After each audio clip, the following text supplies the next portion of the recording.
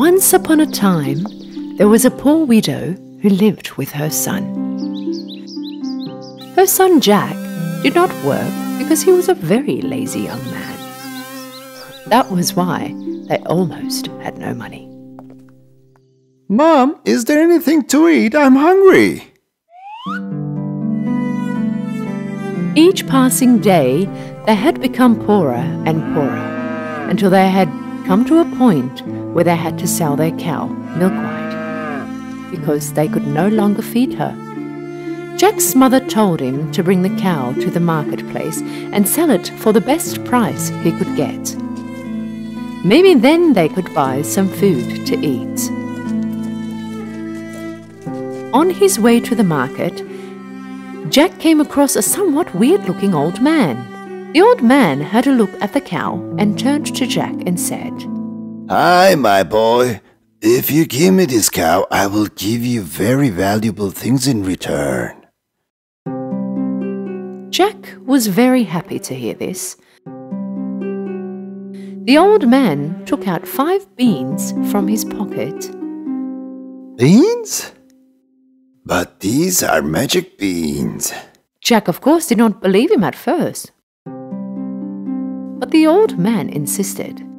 Look, young man, you seem like a good and bright kid. Take these magic beans. You won't regret it. Trust me. Jack believed the old man and gave him milk white in return for the magic beans.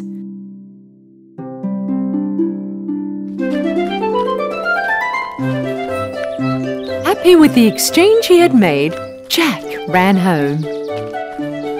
Ma, look what I've got!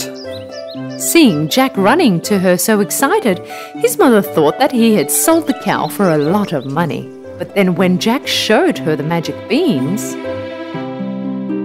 his mum was pretty cross. She threw the magic beans into the garden and sent Jack to his room. You are grounded in your room until I tell you to come out, and no dinner for you tonight.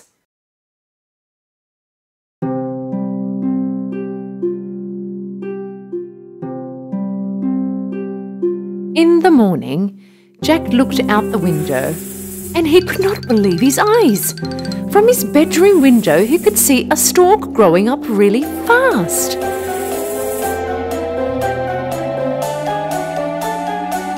This was neither a tree or a giant flower, this was a magic beanstalk. Jack jumped on the giant beanstalk from his window.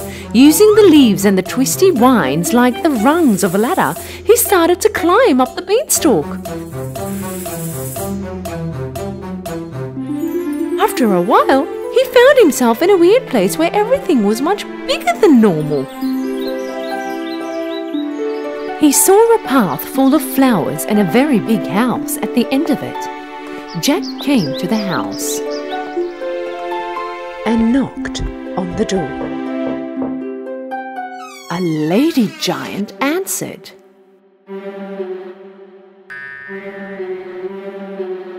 Uh, well, I was going to ask if you had something to eat.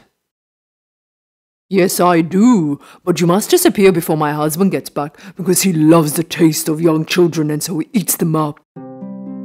Jack, of course, was a bit frightened, but also he was very hungry. Just as he was sitting at the table to have a bite, he heard someone talking outside with a deep voice. Fiffy fo foes, I smell a child with my nose. Raw or cooked, I don't mind. I can't get enough of those. The woman called out to Jack.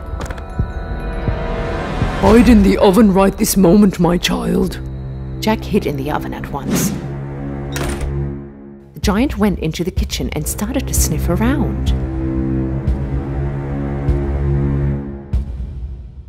I can smell children. What are you talking about, dear? You're probably smelling the meat I've given the cats yesterday. After he had finished his dinner, the giant started to count his gold.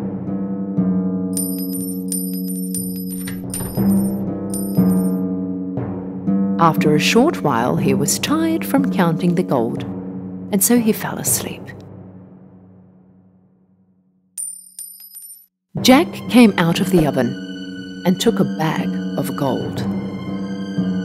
He threw the bag right under his magic beanstalk. Then off he went down, holding onto the beanstalk. He found the bag of gold he threw down and ran home right away. When Jack's mother saw the gold, she was very happy. From that day on, there would be no more poverty or hunger for them. But after a few months had passed by, all the gold they had finished.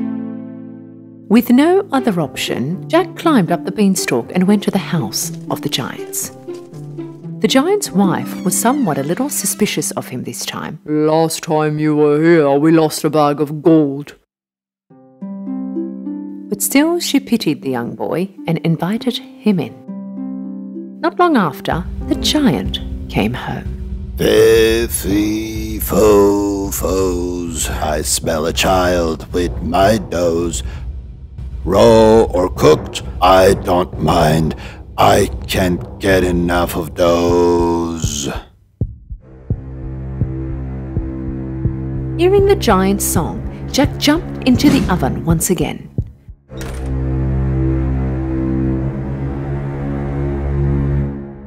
After finishing his dinner, the giant asked his wife to bring his chicken.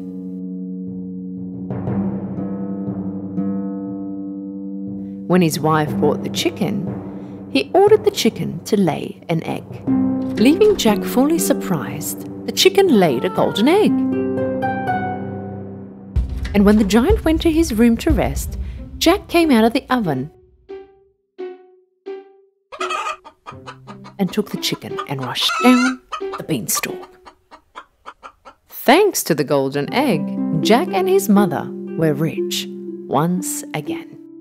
But after some time had passed, Jack decided to try his luck once again and started to climb up the magic beanstalk. This time he went into the house without being seen by the wife and hid in a big copper pot. Sometime later, the giant came home. Fifty fo foes. I smell a child with my nose, raw or cooked. I don't mind. I can't get enough of those. This time, the giant's wife decided she wanted Jack caught. If there is a child around here, then it should be in the oven. Of course, Jack had hid somewhere else this time. The giant and his wife were determined to find the child, but although they searched everywhere in the house, they just could not find him.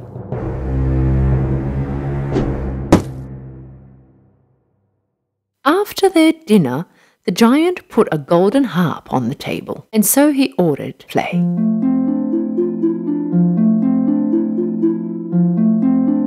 Playing lullabies, the harp put the giant to sleep. At that moment, Jack knew that he wanted this harp more than anything else in the world. In order to do so, he climbed up the sleeping giant's knee, jumped on the table, and to the harp. But something really unexpected happened. Help! The harp yelled. Jack jumped down the table with the harp on his back. The giant woke up and started to run after him. Jack started to slide down the beanstalk as fast as he could, and the giant followed. When he reached home, Jack called to his mother. Mom, quick, bring me an axe. They both started to cut down the beanstalk.